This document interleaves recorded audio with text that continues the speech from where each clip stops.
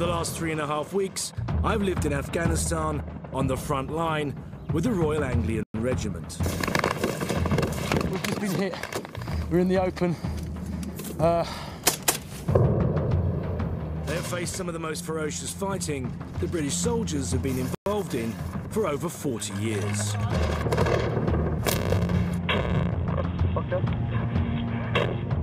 In the six weeks since they arrived, they have suffered 16 wounded and three killed in action. The RPG guy that just tried to launch one in here, sniper, just next to me, has just killed him. Three weeks ago, I joined them on Operation Lastay Kulang to clear the Taliban from around Sangin in Helmand province. After a week of exhausting and intense enemy contact, B Company are resupplied and continue to patrol the green zone. But our technical equipment is suffering, and so are myself and the crew.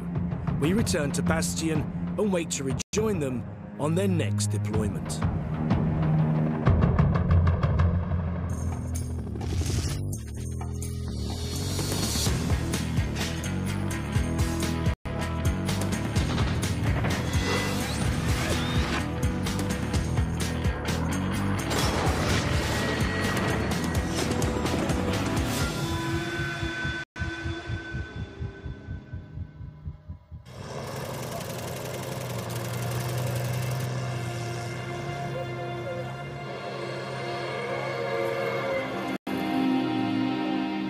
After weeks in the field, B Company returned to Camp Bastion exhausted.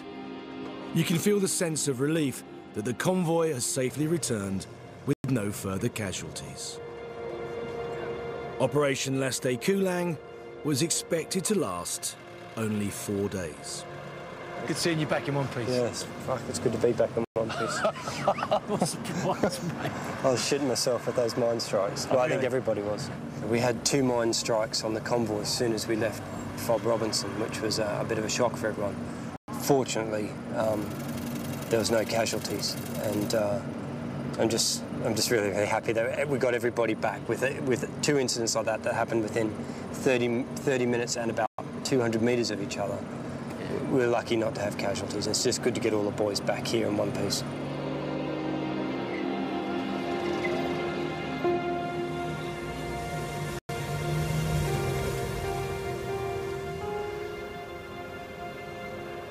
I've seen for myself the damage a mine strike can do when one of our vehicles hits a mine. So the next morning, it's a relief to see the full convoy back in base safely.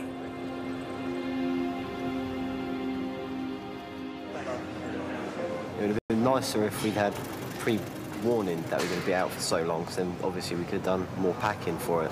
Tell me about the kind of things that do get you after a while. Is it just not having somewhere to wash, or what is it? It's the rations that got to me. Is in the first week was all right, then the second week it started getting a bit fucking boring, and the third week I had to physically force myself to eat the food because I just couldn't stand it anymore. It was just the same shit every day, having to wear the same dirty socks, the same dirty clothes. It just it fucking gets to you, and the blokes are just fucking exhausted, especially having to carry all the fucking extra ammo, the food. My morale was lifted as soon as I got in the helicopter, as, as probably Teddy's was as well, because we know that when we come back, showers, hot water, relatively hot water, fresh food. Camp Bastion may not be the Ritz, but the basic luxuries of freshly cooked food, a bed, and most importantly, lots of water put smiles on most faces.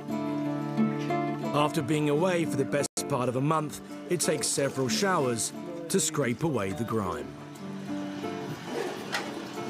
Most of the guys from B Company are now back in Camp Bastion, as you can see. They're taking well-deserved showers, they're getting some food inside them, and most importantly of all, they've got three weeks of mail to catch up on.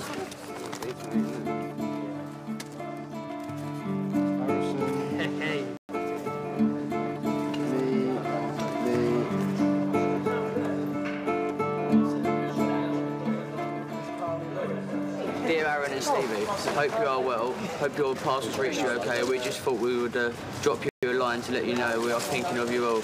We're so proud of you. T till next time, Julie, Neil, Josh, Ben, Erin and Nan. That's the ones who sent us their parcel with all the food in it.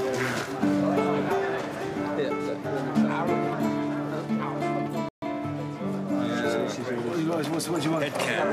Head can. That's what you wanted, yeah? How important is it getting like like that? You've, you've become a godfather, haven't you? Yeah, I have. Yeah, um, So look, that's it's my mate uh, Sergeant Stu Hicks. he's a recruiting guy. Yeah, he's, he's in Cambridge recruiting at the moment, and um, BB. And it's, it's, it is really high for morale, and I'm, I'm chuffed to bits to, to be seeing this. So it's, it's really good, really good news.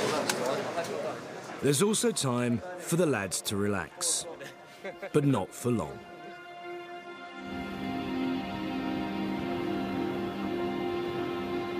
It's a matter of hours before they are being briefed for their next task, taking over from A Company in the ancient town of Nowzad, some 70 kilometres north of Camp Bastion.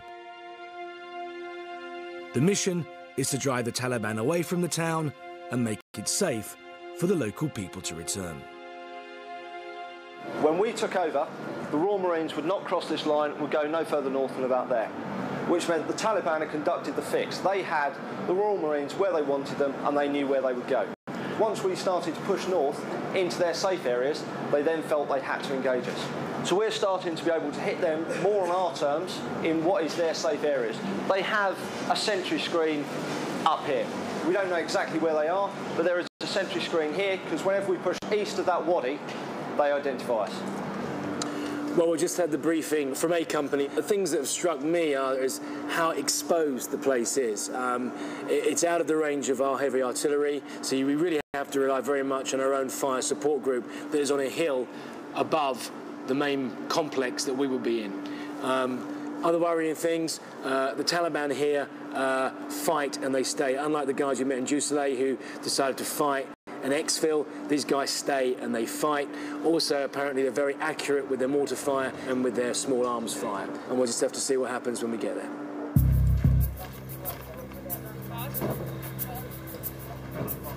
The 140 men of B Company are preparing for their imminent departure. Tomorrow, an advance party will fly up to Nowzad District Centre, where they'll be based for the next six weeks. CSAT uh, 061551. We don't know how we're getting up there. There are two routes. One is by road, obviously, that's incredibly dangerous. And the second option is by helicopter. Uh, however, the landing zone in Nowzad has been attacked regularly, so they're both pretty dangerous. Uh, we don't know exactly when we're going. We're just going to go off now and pack our kit, and uh, we're going to stand by, uh, ready to go. The kit and the lads are battle weary, but after a brief spell in Bastion, morale is high. We've got to sort all our equipment out, our ammunition. Our weapon systems are key. Uh, we've fired a lot of ammunition through them over the last few weeks. Uh, so we need to uh, get them 100% clean, get them inspected. Uh, any faults that we've got, we need to get them uh, completed before we, before we redeploy. We're going to be uh, in, a, in a, a secure company location.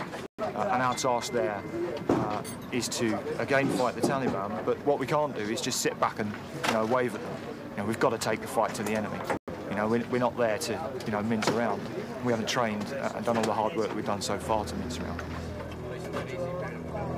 I've just been told that we'll be travelling to Nowzad by Viking vehicle, crewed and driven by the Royal Marines.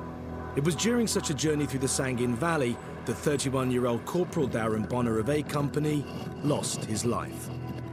When his body was flown back to the UK, his comrades in A Company were in the field. Captain Alex Strachan holds a memorial service for them to honour his memory. To you, O Lord, we commend the soul of Darren, your servant. In the sight of this world, he is now dead. In your sight, may he live forever. Forgive whatever sins he committed through human weakness, and in your goodness grant him everlasting peace. We ask this through Christ our Lord. Amen. Gentlemen, if you'd like to be seated now, I'll run for you the montage that Sergeant Rumsey made up for us. Summer has come and passed.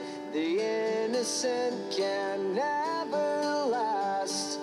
Wake me up when September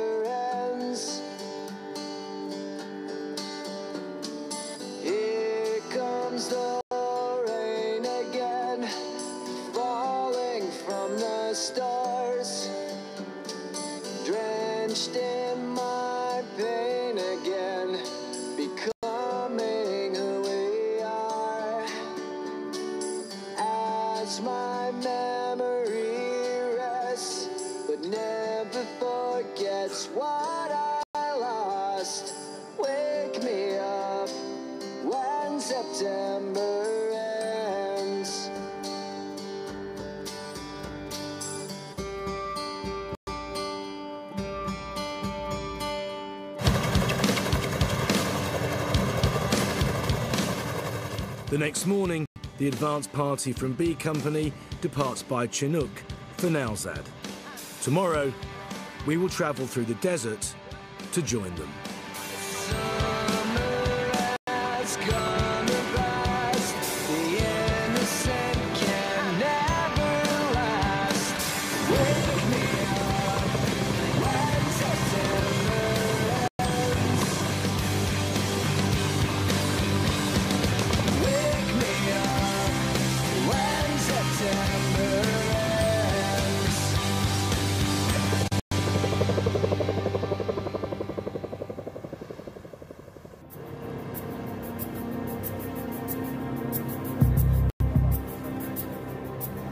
It's just gone 2 a.m. in the morning. The guys have been loading the Vikings for the last half an hour. Most of it was was done last night.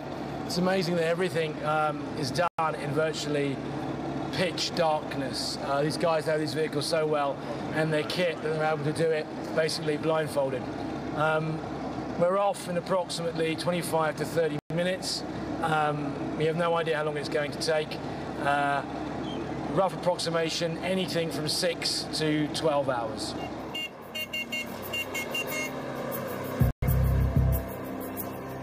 We're travelling 70 kilometres north of Bastion to the ancient town of Nowzad. The terrain is hard and we're making slow progress. Our average speed is only 15 miles per hour. There's also the constant worry of hitting a landmine or running into an ambush.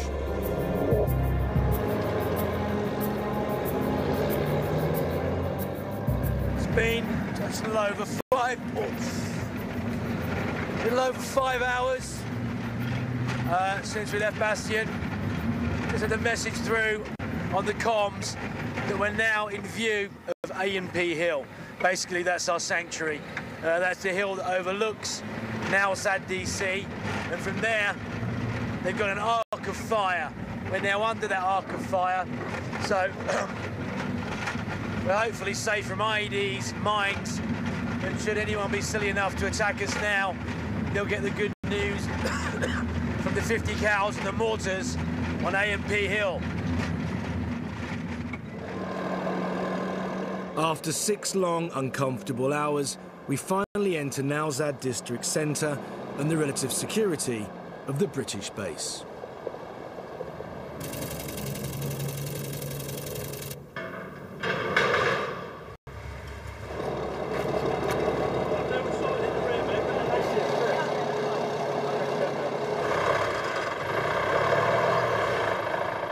As you can see behind me, the convoy made it safely in. Uh, we were flanking it for most of the way in here.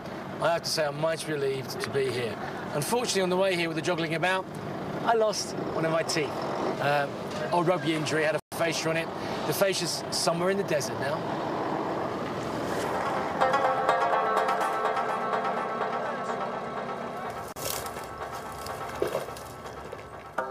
Officer in command Mick Aston is giving the soldiers an introduction to their new surroundings. I'll be straight with you. The tempo here uh, is a lot lower than what we've had up until now. All right. Um, that doesn't mean uh, we need to take it easy or become complacent. And to tell you the truth, that is my biggest fear. When you look out there and you go up to ANP Hill and you look out into the green zone over there, that's where the Taliban are. And they're there in force in well defended positions, all right? And you only have to look out 400 metres from the front gate, and that's where A Company got themselves into uh, a fair bit of trouble down there in Sakani. There is a lot of Taliban activity over there. There's a big wadi over there, and that's like a Taliban highway between the north and further down to the southeast to Musa Qala and Sangin. So there's a lot of them over there, uh, and we need to pick our fights. That's the direction that the CO gave me. Pick your fight. And when we do, we'll go out in strength. Pick the time and the place. And we choose that, not them. And we fucking put them in the hurt locker. okay, fellas, that's all. That's the... The town of Nowzad is virtually deserted. Many locals left to escape the fighting, fleeing to outlying villages or finding sanctuary in the mountains.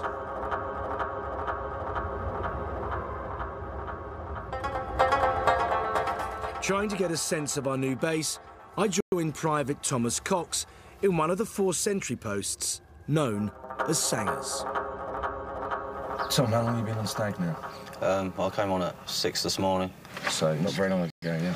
No, but, uh, so over the night we've been doing two hours in here and then having two hours rest. And, uh, Do you get to sleep in those two hours? Uh, we try to, yeah. Interesting that the uh, that green zone is where the Taliban are. They're dug in, and they are what? Is it 200 meters? Um, Two to 300. pretty- Yeah, two, three hundred metres, yeah, pretty much.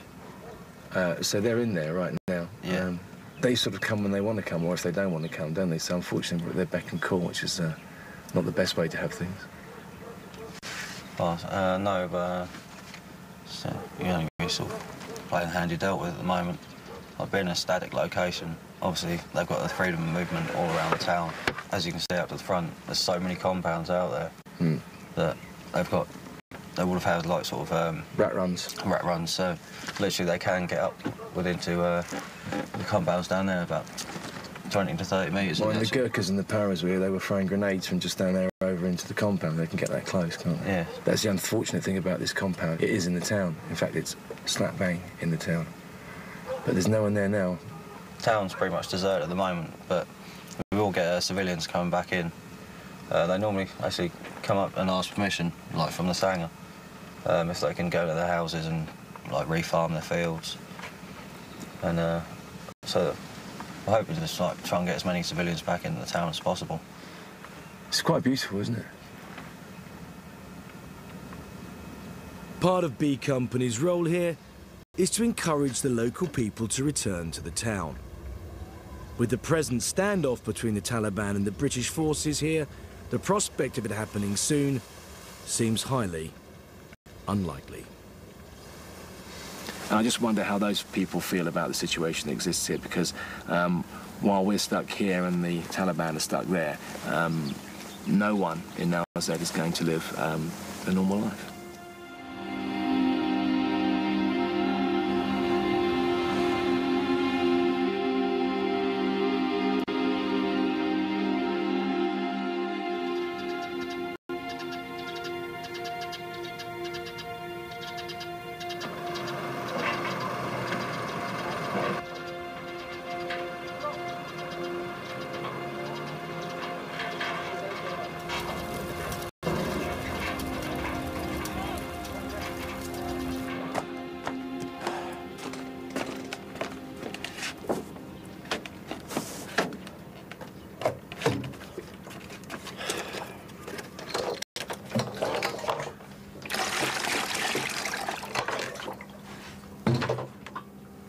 Good morning. Um, it's pretty early here.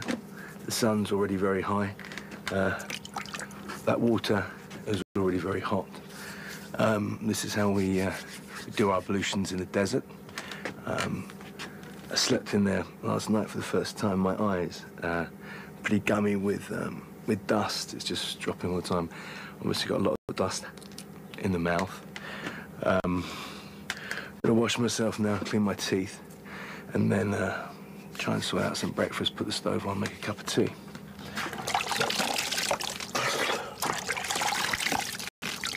So there are two types of water here. It's drawn up from the well. Um, stuff that you wash with is not treated, and the stuff that you drink, obviously, that comes with a white seal on it. Um, that's had uh, chlorine tablets or iodine tablets put into it. So,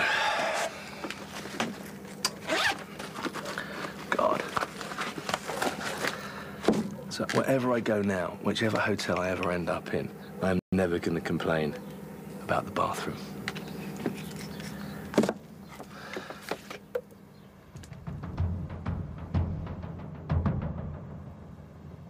We've been here just 24 hours, and B Company are already preparing for their first patrol in Nowzad. They'll be going up to ANP Hill for some orientation with the fire support group, and I'll be spending the night there. When A Company were here, they were often engaged by the Taliban just outside the base, so we leave with a certain amount of trepidation. It may be early in the morning, but the temperature is already soaring. We just come out of the main gates of, um, of Nowzad DC.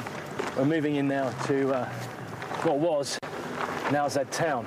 Um, the road over there is called RPG Alley for obvious reasons, and we're just making our way um, onto the eastern part of Nowzad town.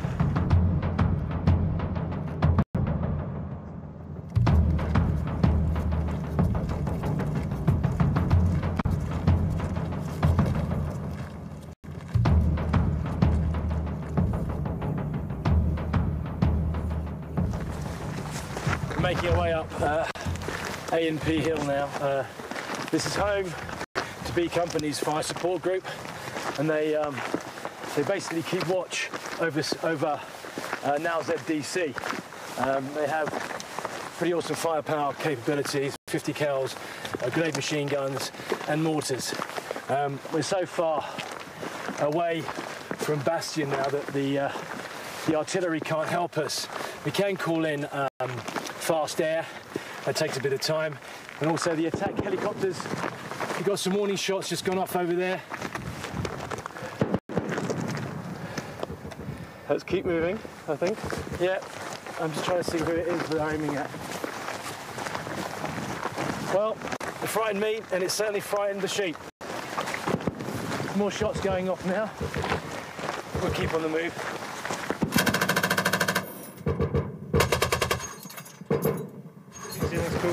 More shots going off. Now. They're just uh, test firing a 50 cal. Oh, right. So, uh, stand down, everybody. They're just testing a 50 cal. The fortification was built as a firing point by the Russians during their occupation of Afghanistan some 20 years ago. Today, it is named after the Afghan National Police. It gives extraordinary views over both Nowzad and the surrounding area.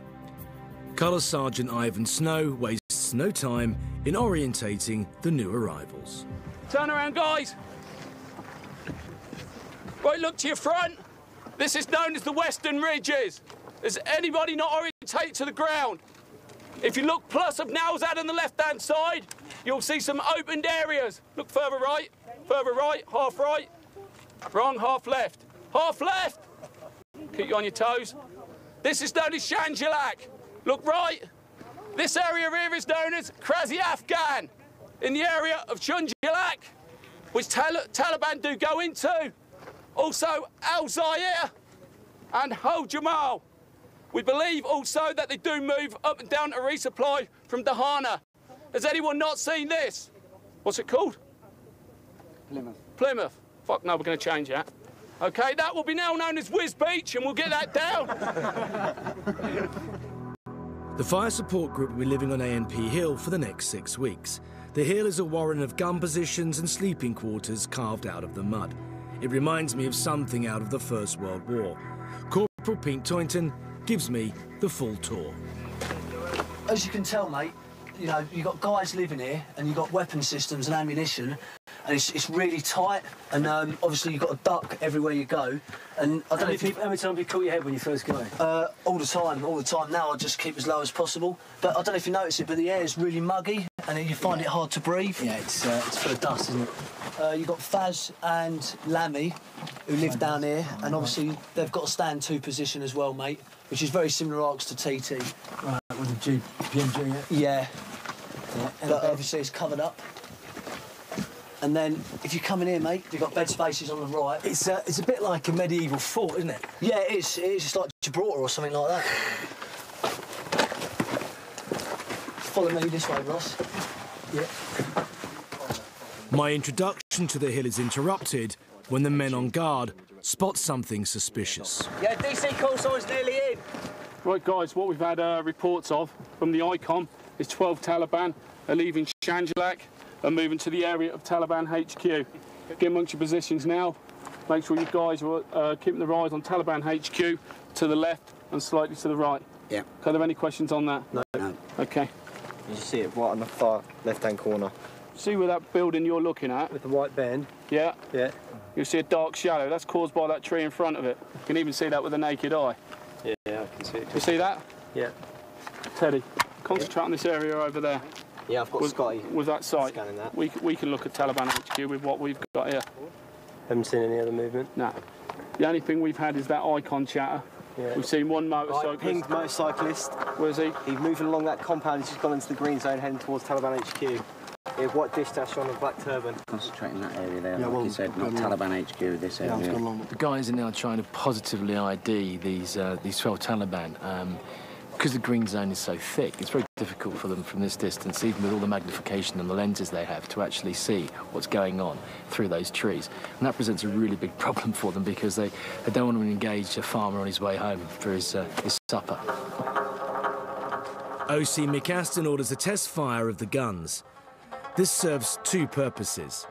It's a show of force to the Taliban across the Wadi, and it lets them know that B Company are now operational. Mick is optimistic that there could be a contact with the enemy. Mm, might even bring him out, we'll see. Right. Get Keno out of there for me, mate. So sticking, Camo. a, sticking a stick into the hornet's nest to see what comes yeah, out. we'll see what, see what happens. SF gunners! Rapid! Fire! the FSG, the fire support group, testing their weapons. They're just about to put some more mortars over. There you go, the mortars. Uh, they're aiming at a, a tree line that's um, not that far, but actually into the green zone. But it has stimulated the Taliban. There's lots of toing and throwing now. But also, the main purpose really is to make sure that all their weapon systems are in place, that they work, and also they're zeroed in.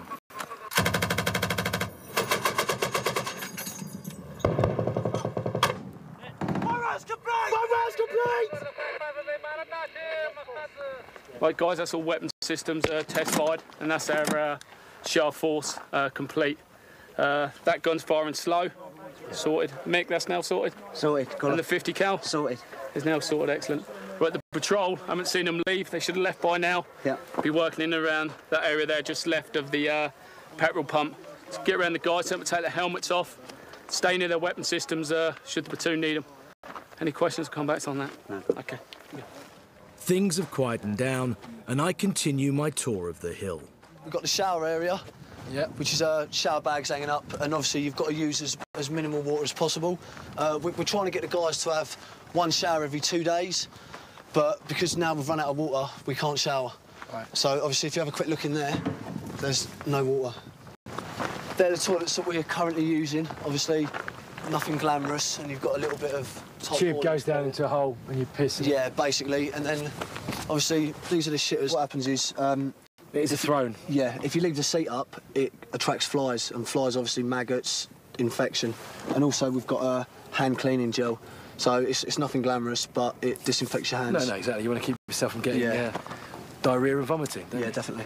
Yeah, and if we get that up here, I've everyone seen will get it. uh, some of the toilets in the world haven't got views like that, have they? No, they haven't. No, and but some of the toilets in the world also haven't got as much danger out there. either. That's true. Right, ready.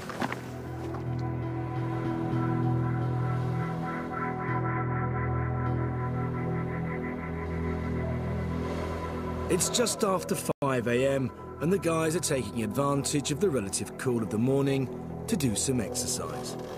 But it's not just a vanity workout. If they don't keep up their fitness levels, they will struggle when they go out on patrol. Carrying a kit that weighs 36 kilograms in temperatures of up to 50 degrees centigrade. Good morning. It's just gone five on A and P Hill. Um, it's a stunning morning. Uh, and last night, the canopy of stars that were over me as I looked up from my bunk was just incredible. Um, there's a beautiful breeze blowing.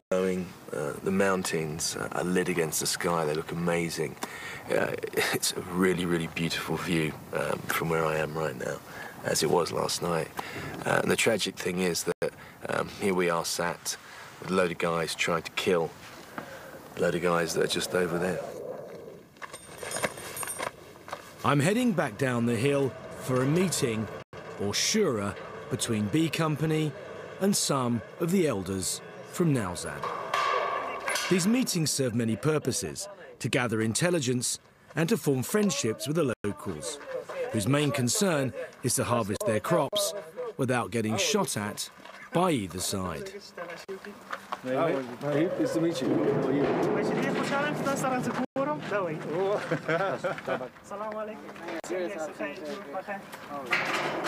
This is Mick Aston's first Shura in Nowzad.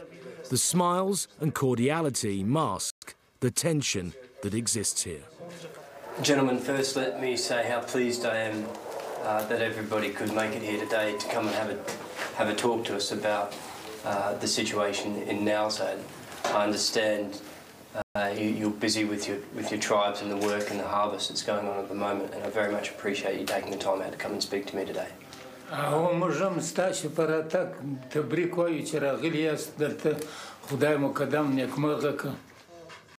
Mick wants to know what he and his men are up against.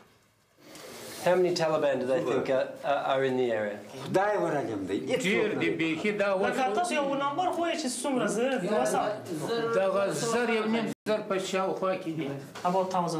A thousand here in Nowzad? Yes.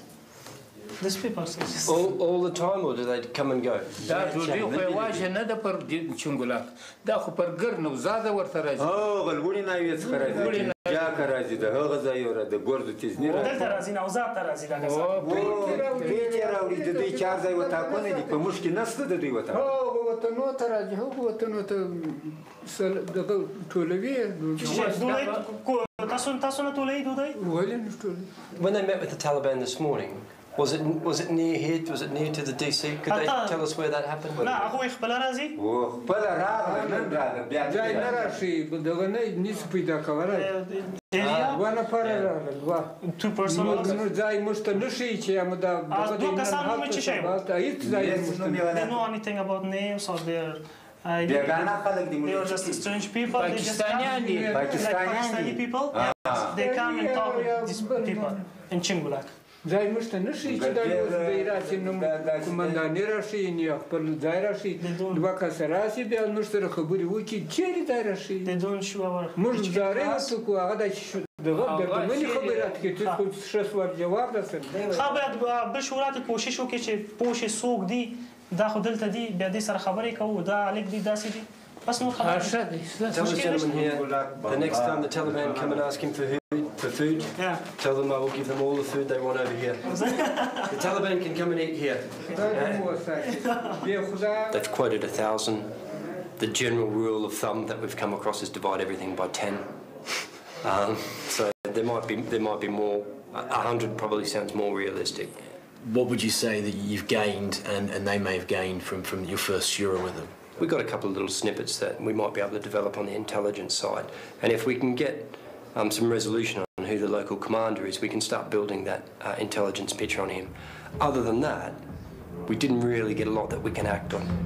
The Shura confirms my suspicion that the locals are stuck in the middle, providing unreliable information for fear of reprisal. The only thing that is certain is that at 2 a.m. tomorrow, I will be going out on patrol.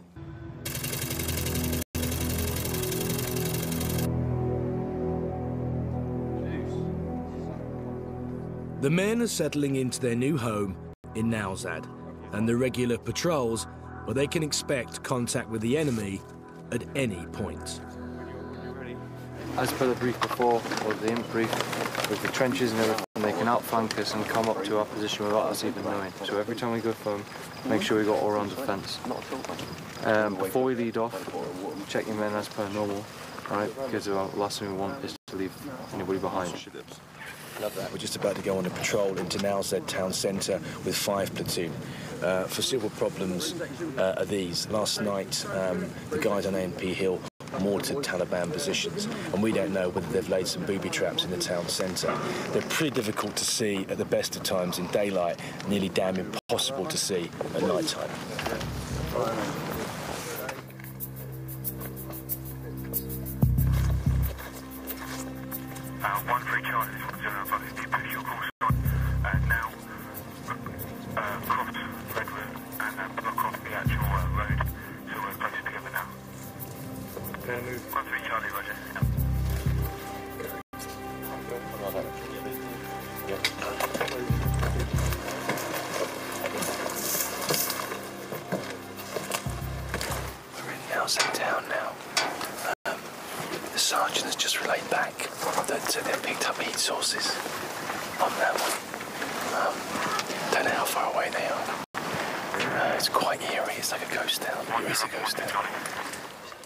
Found a uh, heat source approximately 400 metres along Wood, Blo- uh, Wood Block 1. Is that a dicker, you think? Um, it could be anything. Right. Could be a dog, could it? Could be, yeah, it could be a dog.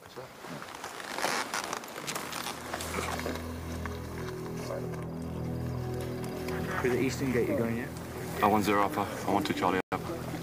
I want to Charlie. Were you going back as a call sign complete upper?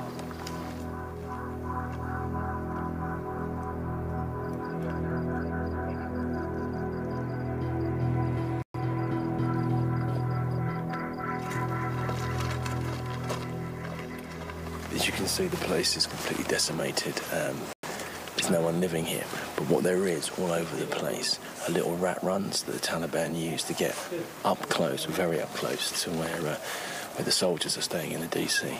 Everywhere you look, you can see these Taliban tunnels that lead up into compounds that can give them firing positions very, very close to Nowzad DC, which is basically the headquarters of the British soldiers here.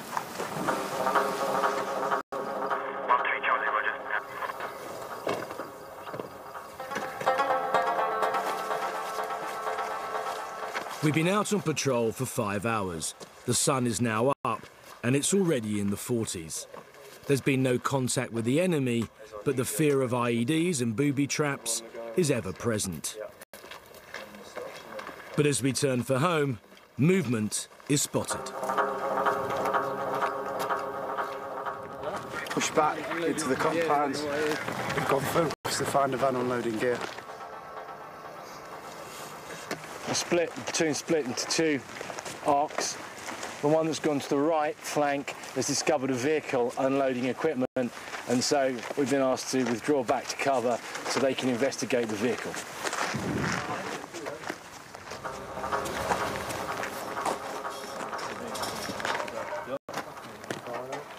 The guys wanted to check this vehicle out. It's, it's people packing up to leave.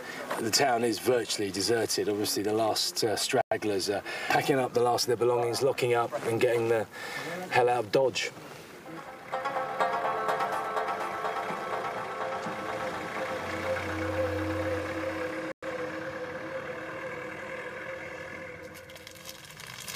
We get back to base and it's time for a well earned cup of tea.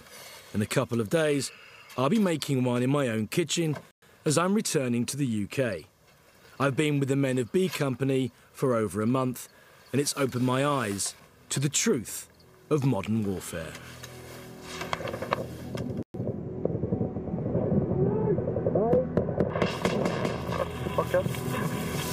We're led to believe that a modern war is fought electronically from a distance.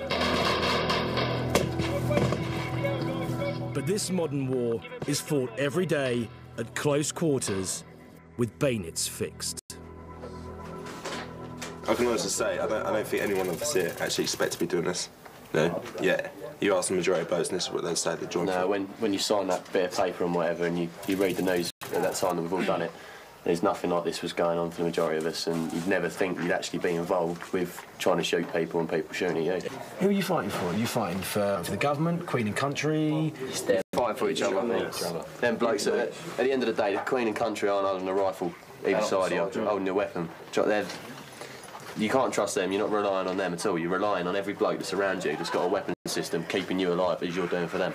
So, guys, do you think the people back home appreciate what you're doing here? I don't think they, they fully understand. They, they don't have the, the life experience or the, the experiences of being under contact or doing the patrols out here with all the kit, with the heat, with the, the living conditions. They just don't. They don't know. You're out here, you're risking your lives. Um, do you think you get paid enough for what you do? I get, I get some I get some peanuts now I'll and then. I'll but, show you you how much he gets a month. New guy, Uh, Shay? take home about a thousand pound a month. It's not much really for what we do, but we've got our own money, ain't we? Yeah, it's time served as well. I mean, like with any job, the longer you've done the job, the, the higher your increment goes, or Loyalty the more you- yeah, well, something like that. You get you get more money. Mm. You know, so the, the newer guys. They complain they get don't get as much money as the more senior guys, but then they haven't done the time served. Um, how many of you are thinking about getting out after this tour then? Yeah. Yeah.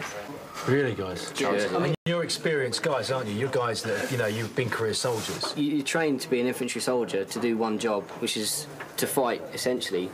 Once you've done a tour like this, you can't go back to someone like Brecon and throw surely grenades and fire blanks at someone. It's, it's just not the same. Because you know. you get shouted at saying, in real life you'd be killed, and you actually stand there and go, actually, we've done that in Afghanistan, and you're wrong and we're right, so fuck off. Yeah. E- Everything that a soldier trains for, we have almost used everything, every part of that on this tour so far, and and if they want to, you know, you know, get out of the army and pursue a life somewhere else, then you know, hats off to them. That, you know, and I'm more than happy for them to do that.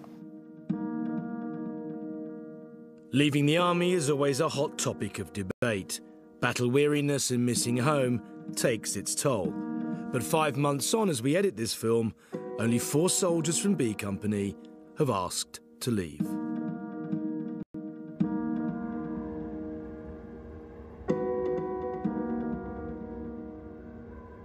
Tomorrow, I take a helicopter to Camp Bastion on the first leg of my journey home. Before I leave, I attend a memorial service for the fallen. The men I'm leaving behind still have three months to serve. In the 12 weeks they've been here, they've lost three men to enemy fire. The first to die was 19 year old Private Chris Gray, who lost his life only a few hundred metres from where I'm sitting. The following shows what happened moments after he was shot by Taliban forces. His family and the army have given us permission to broadcast this footage. Follow me. Man down. Who is it? On me, I don't know yet. Let's go, through there, Simo. Get him to me now. Get low. Get a casualty to me. Get a casualty to me now. Get him Murphy. Get him done. I want a section to put suppressive fire down. Let's go. Who is it? Right. Where's he hit? Come on. Let's get him. Get his kit off him. Get it off of him. Get it off of him. He's gone. No, he's alive. Right, get him back. Get him back. Get him back. Leave his kit. Get him back. Right, let's get him back. Just go. Just go. Needs to be quick. Come on. Keep going. Keep going. Best speed. Where's the fucking medic? I'm here. I want him.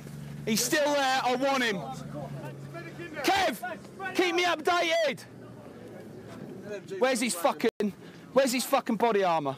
Get me that fucking body armor out now. Where the fuck did it go through? Went through the side. There. There, there we go. Fucking hell. Through there and up there. Oh, I can't believe that.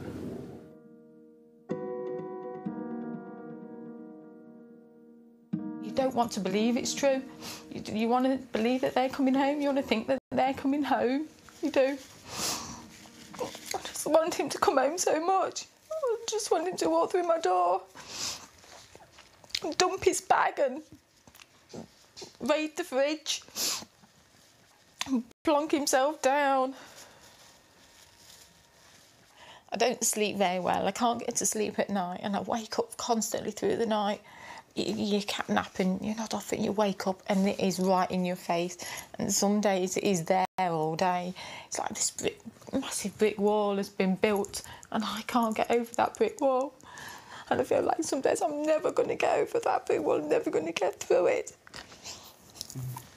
He said, he says to me, I'm going to be the best mum. I'm going to be the best soldier you watch. He said it in training. He said, I'm going to bring you home a medal. He said, I don't want a medal, I just want you, Chris. Make sure you come home. It's not. I've been to Afghanistan and seen the human cost of this war, but nothing prepares you for meeting someone like Helen and the sacrifices being made by the soldiers and by their families. Her son, Chris Gray, won't be coming home, and she and her family will have to live with that for the rest of their lives. It's not long before I return to Afghanistan. I'm rejoining the men in Kajaki to follow them on some of their most dangerous operations to date.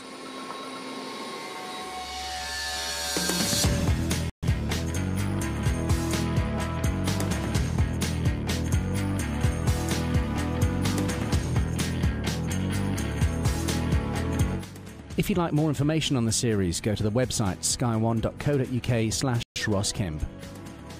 Next on Sky One, Escape 2.0 is on in brand new Prison Break.